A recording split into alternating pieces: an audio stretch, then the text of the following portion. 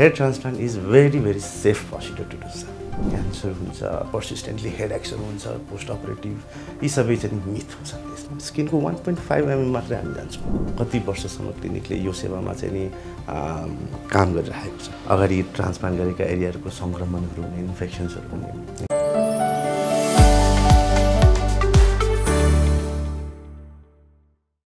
नमस्कार। कार्यक्रम दीर्घायु भवमा स्वागत छ। यो कार्यक्रम शिलापत्र डट कमको आधिकारिक फेसबुक पेज र युट्युब च्यानलमा हेर्न सकिन्छ। कपाल प्रत्यारोपण सम्बन्धित थुप्रै भ्रमहरू छन्। कपाल प्रत्यारोपण गरेपछि क्यान्सर हुन सक्छ प्रत्यारोपण गर्दा दुख्छ आदि इत्यादि भ्रमहरू छन्। यसबारे हामीले एरोगिन हेयर एन्ड स्किन क्लिनिकमा कार्यरत hair transplant surgeon doctor Manish Bhakta प्रधानसँग कुराकानी गरेका छौँ। क्लाइन्टहरूको क्युरियोसिटी के हुन्छ कपालमा मल्टिपल स्विङ्सहरू हाल्छ क्यान्सर्सहरू हुन्छ दिमागसम्म चाहिँ नि पुग्छ भन्ने एउटा चाहिँ क्युरियोसिटी हुन्छ विच इज एकदम फल्स यो चाहिँ फल्स प्रतिक्रिया मिथ हो यो चाहिँ। हामीले प्रत्यारोपण गर्दाखेरि डेप्थ वाइज हामीले कुरा गर्दाखेरि यो स्किन छ त स्किनको वान पोइन्ट फाइभ एमएम मात्रै हामी जान्छौँ। सो स्किनको तहहरूमा के हुन्छ छाला हुन्छ छालाको दुईवटा तह हुन्छ त्यसपछि आएर बोसो आउँछ त्यसपछि तिनवटा मसल आउँछ त्यसपछि मात्र खप्पड आउँछ त्यसभित्र मात्र दिमाग हुन्छ। सो हामीले माथि स्किनको वान पोइन्ट फाइभसम्म मात्रै काम गर्ने हो। सो यसमा कुनै पनि भाइटल अर्ग्यान्सहरूसँग हामीले खेलबाड गर्दैनौँ। त्यसैले यो जुनै पनि लाइक क्यान्सर हुन्छ पर्सिस्टेन्टली हेड एक्सर हुन्छ पोस्ट अपरेटिभ यी सबै चाहिँ मिथ हुन्छ यसमा। कपाल प्रत्यारोपणलाई चाहिँ हामी माइनर सर्जरी भन्छौँ। It's a day care surgery so day care surgery र माइनर सर्जरीको अर्थ के रहन्छ? यसमा कुनै पनि लाइफ थ्रेटनिङ साइड इफेक्ट्सहरू छैन। That's why hair transplant is very very safe procedure to do sir सुरुको हामीले जब एनेस्थेसिया दिँदाखेरि एउटा इन्जेक्सन दिन्छौँ लट्याउने इन्जेक्सन दिन्छौँ त्यतिखेरको प्रिकिङ पेन चाहिँ यस हामी क्लाइन्टले बुझाउँछौँ नि त्यो फर्स्टमा चाहिँ for few minutes two to three minutes हुन्छ। त्यस पश्चात whole day is a painless surgery हामीले एनेस्थेसिया युज गर्दाखेरि नै हामीले दुई प्रकारका एनेस्थेसिया युज गर्छौँ। एउटा सर्ट एक्टिङ एउटा लङ एक्टिङ र त्यस पश्चात हामीले नदुख्ने औषधिहरू पनि दिन्छौँ। सो वास्तविकमा भन्नुपर्दाखेरि पोस्ट अपरेटिभ पे क्लाइन्टले कहिले पनि पेनको चाहिँ नै अनुभव गर्नै पाउँदैन। एज अ मेडिकल पर्सन हामी एउटा रिसर्च बेस्ड कुरा गर्छौँ। एभिडेन्स बेस्ड कुरा गर्छौँ। जुन चाहिँ एउटा इन्टरनेसनल सोसाइटीले दिएका हुन्छन्। कोही मान्छे कपाल प्रत्यारोपण गर्न आउँदाखेरि उहाँको हामीले के गर्छौँ? स्किनसँग खेल्छौँ ब्लडसँग खेल्छौँ होइन कपालसँग खेल्छौँ है। मेनली चाहिँ नि प्रत्यारोपण गर्न जो आउने क्लाइन्टहरू छन् उहाँको जुन चाहिँ यो डोनर एरिया भन्छौँ त्यसलाई हामी एउटा उहाँको त्यो पर्मानेन्ट डोनर एरिया छ।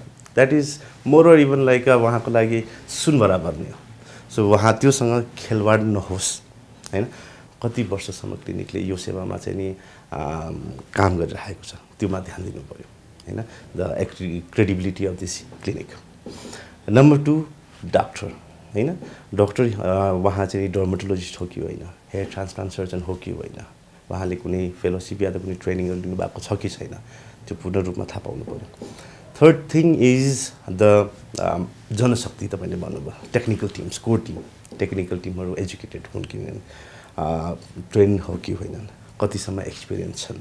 यी कुराहरू ध्यान दिनु पऱ्यो फोर्थ भनेको चाहिँ नि इक्विपमेन्ट्स सामानहरू स्टरलाइजेसनदेखि लिएर सामानहरू कहाँबाट खरिद भएका छन्? यी सबै चिजहरूमा चाहिँ ध्यान दिनुपर्छ। सो यी बुदाहरूले चाहिँ नि हजुरले चाहिँ बिफोर हजुरले कपाल प्रत्यारोपण गर्ने सोच राख्नु भएको छ भने यी बुदाहरूमा चाहिँ पक्का पक्की पनि ध्यान दिनु होला भन्छु म।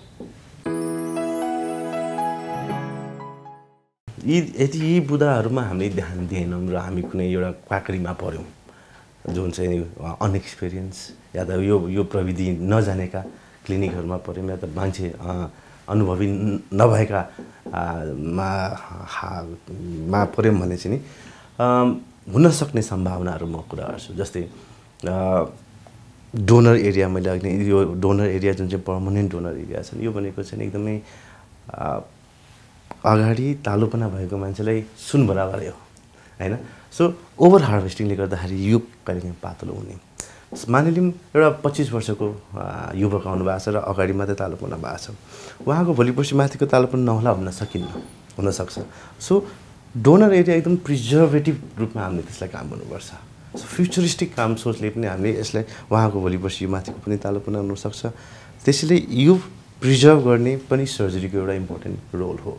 सो जुन मैले अघि नै बुधार भने यदि त्यो बुधारमा काम गरेन भने चाहिँ ओभर हार्भेस्टिङले गर्दाखेरि चाहिँ नोनर एरियाले बिग्रिने अगाडि ट्रान्सप्लान्ट गरेका एरियाहरूको सङ्क्रमणहरू हुने इन्फेक्सन्सहरू हुने होइन पछाडिको भागहरू इन्फेक्सन्सहरू हुने क्लाइन्टले सोचेअनुसारको हेयरलाइनहरू डिजाइन नहुने कपाल यतातिर फर्किनुपर्ने अर्कोतिर फर्किने होइन यी सबै कारणहरू यी सबै चाहिँ चिजहरू चाहिँ हुनसक्छ कपाल प्रत्यारोपण माइनर सर्जरी हो।